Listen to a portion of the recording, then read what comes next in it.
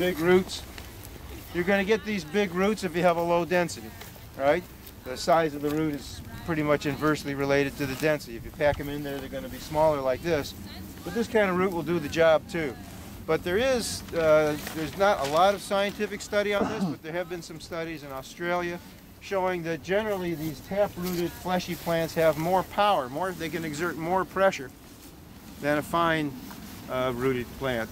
And we've now got you know data that shows that some cover crops can push through compacted zones uh, much better than others.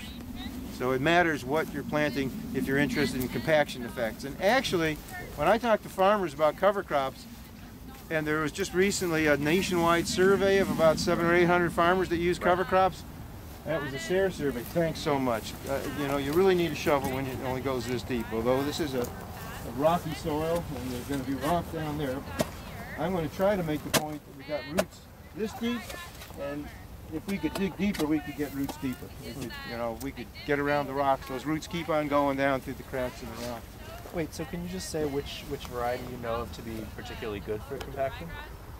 I think all of the all of the brassicas are good for compaction. Rape does just as well as the uh, as the forage radish.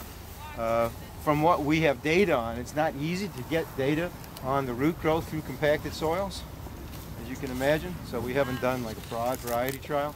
Uh, but when you compare that to say rye or grasses, they're much better. Sure. Okay, so that when you have a plow pan or a clay pan, the, what we'll often see is the rye will just grow in that upper part. It won't give you that compaction alleviation effect. And that's something you can't measure with the traditional measures. So you usually associate compaction with what? You're going to measure compaction, you can measure. Oh, density, right? You say, well, compacted soil is more dense. And what would be the other thing you'd measure? You ever get one of these measuring tools you push in the ground? Penetrometer. Penetrometer. It's got a dial on it, you know, and tells you how much force it takes pushing the ground. You think, well, you know, after I plow my field and subsoil, it should be easy to push, right? That's because you're cracking the soil up. But this, what you're doing here is it's not this big root that does the work. That that does change the the surface drainage. It change warms the soil. It, it, it you know it does change the surface soil conditions. But then it narrows down to this thinner taproot. You can see this going on down. It broke off here. It keeps on going. This is what's doing the job.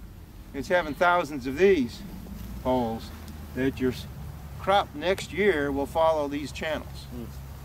So this that? finds its way through compacted zones, and then you know we've done that research. Uh, Guihua, who is here, has done a lot of it. Uh, what we see is after planting this kind of tap-rooted cover crop, when it rains, you find the moisture down here faster.